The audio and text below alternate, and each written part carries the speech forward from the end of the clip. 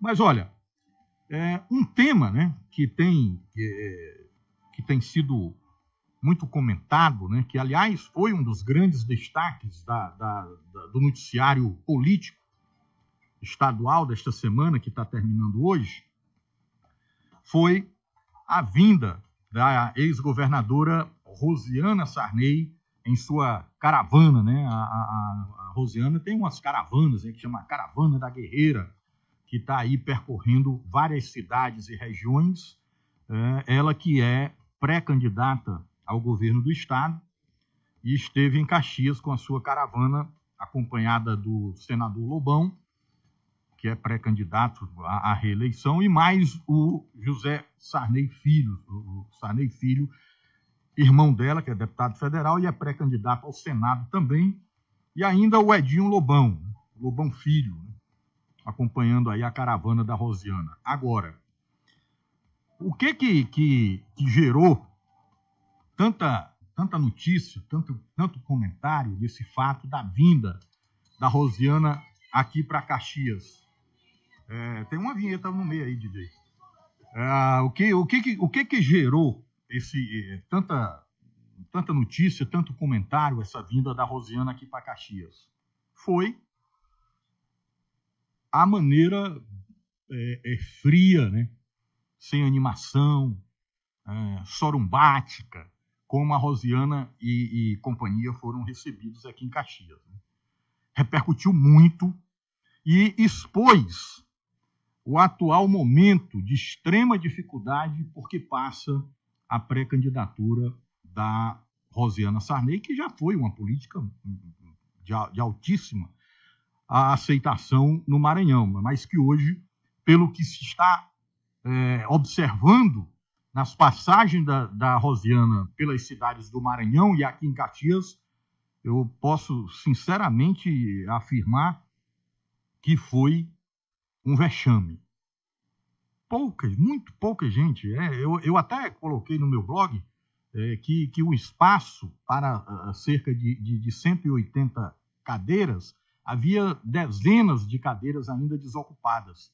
E aí alguém depois me fez uma correção, né, que o espaço tem 98 lugares, né, 98 cadeiras. E ainda assim havia cadeiras desocupadas. Quer dizer, foi muito fraco.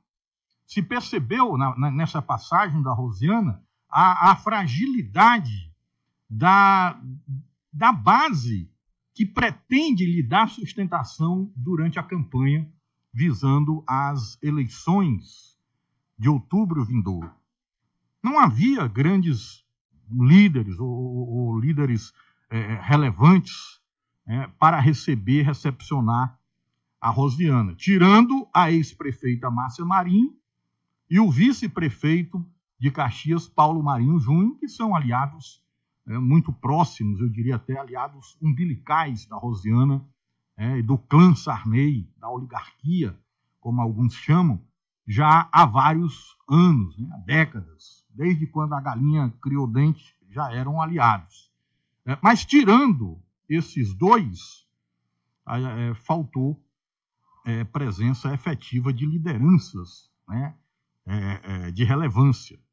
Tanto faltou liderança, como também o setor empresarial de Caxias não esteve representado. Não, não tinha lá, não compareceu a esse evento de pré-campanha da Rosiana um grande empresário da cidade. E se você tem é, uma, uma candidatura ou uma pré-candidatura que, que se coloca como a, a, a principal antagonista do, do cenário pré-eleitoral, que é aquela que tem, teoricamente, em tese, as maiores condições de disputar o pleito um, com o governador que busca a reeleição, isso, se você tem um encontro desse, numa cidade importante como é Caxias, e, e a carência de, de, de, lideranças políticas, de lideranças empresariais, lideranças mesmo comunitárias, religiosas, Você vê o vácuo que está, o, o, o, grau de dificuldade porque passa uh, o, o, grupo Sarney, né, com vistas a esse, essas eleições de outubro. Agora, uh, tanto é, isso é do conhecimento de, de todos, sobretudo da cúpula sarneizista, incluindo aí a própria Rosiana. Não é segredo que a Rosiana não, não, tá, não tem aquela motivação pessoal para disputar a eleição. Né? Falam-se, e isso é, é, não, não sou eu que falo isso, a imprensa, os blogs, né? há uma, um, rumor muito forte de que a própria Rosiana não estaria com essa disposição toda para concorrer às eleições de outubro. Mas por quê? Rosiana, que foi já governadora do estado do Maranhão por quatro mandatos, né? ela foi é, duas vezes reeleita governadora, embora uma é, teve aquela, aquela situação meio que vexatória do, do, do, da cassação do Jackson Lagos. Né? Mas ainda assim, foi governadora, né? a, a, foi, é a política que, que, que mais tempo exerceu o mandato de chefe do Executivo Estadual Maranhense. E por que, então, com todo esse cacife, Rosiana estaria é, é, relutando em ser a candidata do Grupo Sarney nas eleições de 2018? Por razões óbvias. A principal tem a ver com a, a biografia da própria Rosiana. É uma mulher que foi governadora, que foi senadora, é, que foi líder de governo no Congresso Nacional, a primeira governadora do Maranhão, é, passar ou, ou sujeitar-se né, a passar por esse tipo de constrangimento. Essa semana a Rosiana esteve em Pedreiras e reuniu meia dúzia de gatos pingados num evento lá. Aí foi para Codó, pouca gente, porém um público já melhor do que o de Pedreiras. O pessoal fala até que foi o Bita de Barão que, que, que levou, botou o povo lá para aplaudir a Rosiana. Talvez seja até brincadeira, né? Não é, não é assim também. Mas o fato é que, mesmo o Codó, que deu um público melhor, não foi lá é, é, essa Coca-Cola toda, não foi o esperado, pelo grau daquilo que já representou a Rosiana no Maranhão. Rosiana chegava em qualquer cidade do interior e parecia que estava chegando o, o Michael Jackson. Né? O povo todo em cima, né? os políticos, o povo mesmo, o cidadão comum, queria ver a Rosiana e tal. Só que o desgaste desses quase 50 anos em que a família Sarney esteve no poder, um desgaste natural causado pelo tempo e, sobretudo, pelo, pela, pelo legado, né, pela herança deixada aí para o povo maranhense, que quando a Rosiana saiu em 2014, a gente lembra, não precisa ter memória fotográfica para lembrar a situação, o caos que estava mergulhado o Maranhão todo dia, praticamente, na mídia nacional, né, com, com notícias tristes, né? terríveis. Pedrinhas, todo dia tinha decapitação lá em Pedrinhas. Era, era, é, é, era, incrível. Você ligava o noticiário, o jornal, é, o Bom Dia Brasil da Globo de manhã já estava lá, os caras mostrando Pedrinhos lá, os presos decapitados, enfim, era uma situação de caos total. O analfabetismo do Maranhão, deixado pela Rosiana e companhia, ultrapassava aí os 20%. Quer dizer, 20% da população maranhense era analfabeta. São Luís, a capital, estava entre as 50 cidades mais violentas do país. E aí a gente vem para o IDH, o Índice de Desenvolvimento Humano, e verificava que das 30 cidades eh, de pior IDH do país, cinco eram aqui do Maranhão. Né? E aí é, é, é, o que revelava a, a pobreza extrema, embora seja um problema que ainda não foi superado.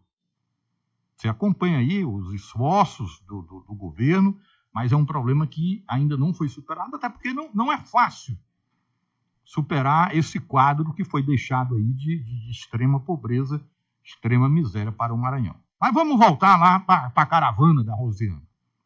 E aí Rosiana vem para Caxias, onde historicamente ela sempre foi recebida com muita festa, com muito oba-oba e tal. E quando anunciaram que, a, que, que o evento da Rosiana seria na, no auditório do, do, do, hotel, do Hotel Alecrim, já me revelou um quadro de preocupação da Rosiana e de seus coordenadores de pré-campanha na possibilidade de não haver quórum, de não haver público suficiente para receber a pré-candidata. Não que, que, isso vá é, de encontro à qualidade do auditório do Hotel Alecrim, tá? muito pelo contrário. Né? Hotel Alecrim é um dos melhores hotéis do Maranhão.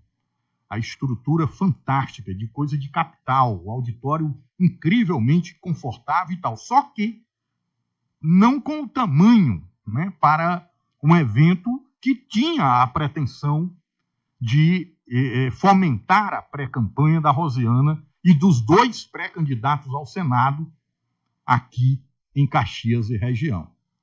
E, e foi o que aconteceu. É, quem pensou num, num espaço pequeno, restrito, que se você colocasse lá 100, 110 pessoas ia, ia lotar, Estava certo. Agora, não contava que mesmo um local pequeno não fosse é, lotado na sua totalidade, exatamente por falta de público. Aí tinha até ônibus trazendo pessoas de. de, de são é, aquela cidade lá, Didi, quem vai aqui para São Luís, lá onde tem um posto lá que a gente. Hã? São Mateus, tinha um monte de. É, trazendo pessoas lá de São Mateus e tal. E um, um, um radialista, amigo meu lá de São Mateus, disse: cara, aqui botaram ônibus para ir e tal, mas olha, foram 15 pessoas nesse ônibus lá de São Mateus. Quer dizer, falta, sabe, a, a, o, o apelo, falta a motivação, falta o oba-oba para motivar as pessoas para irem aos eventos é, da Rosiana. Mas por que isso especificamente aqui em Caxias? É muito claro se a gente for fazer aí um, um retrospecto da, da história política recente aqui da nossa cidade. E aí, voltando aqui para a década de 90, por exemplo, é, quem tiver uma memória deve lembrar que a Rosiana fez uma grande sacanagem com o doutor Humberto. Ele era deputado na época, lá nos idos dos anos 90, ele era deputado e era é, o presidente do PFL aqui em Caxias. A Rosiana era do PFL, era governadora do PFL. Ela sempre teve, na verdade, com o, o PMDB, que é o grande partido do Sarney, sempre foi. Mas na época a Rosiana era do PFL aqui no Maranhão e tal. E o PFL aqui em Caxias era do doutor Humberto. O que, que fez a Rosiana? Simplesmente tomou a legenda do PFL das mãos do doutor Humberto e colocou na mão, nas mãos dos marinhos. Uma humilhação desnecessária né, contra um, um cara que era um aliado fiel dela, um cara que sempre esteve com ela. E, claro, é, isso ocasionou com que é, o próprio doutor Humberto é, viesse a, a, romper com o grupo Sarney na primeira oportunidade, né, naquela oportunidade é, é, que foi construída lá atrás ainda, quando o, o Zé Reinaldo rompeu com a, a, o grupo Sarney e houve a eleição do doutor Jackson, e, e já a partir dali ah, o Humberto Coutinho se assumiu na oposição a Sarney. Por que, que eu falo isso? Porque certamente pela cabeça da Rosiana deva ter passado vários questionamentos. Ela deve ter perguntado: por que está acontecendo? Por que, que, eu chego nas cidades, eu, eu, eu sou tão fria, é, friamente recebida? Por que, que eu não, não, sinto mais a, a, o feedback, o calor dos meus eleitores? As razões são várias. Né? Os indicadores socioeconômicos deixados pelo Grupo Sarney, é, resultado dos 50 anos de mandonismo do Estado, ele, é, é, são o, a, o alicerce para a construção desse entendimento. Mas se a Rosiana for buscar as maldades pontuais que ela fez quando governador, e essa de humilhar Humberto Coutinho é uma delas, certamente é, ela vai chegar à construção desse entendimento do porquê o povo não quer mais a volta dela. E há outros fatores aqui de Caxias também, que certamente refletiram nessa recepção fria que a Rosiana teve aqui. Por exemplo, quando a Rosiana era governadora do estado, aqui em Caxias, os recursos, os cargos, a máquina do estado eram concentrados nas mãos do Paulo Marinho. Rosiana só tinha olhos e ouvidos para um aliado. Ela tinha todos os grandes políticos da década de 90 aqui em Caxias, ela tinha todos aliados dela, porém só prestigiava um. Daí porque foi se é, esfacelando, apesar da habilidade do Lobão, do Sarney e tal, chegou-se a esse momento aí. Mas, ó, eu vou pagar o break. Agora a gente está aqui meio-dia e 35.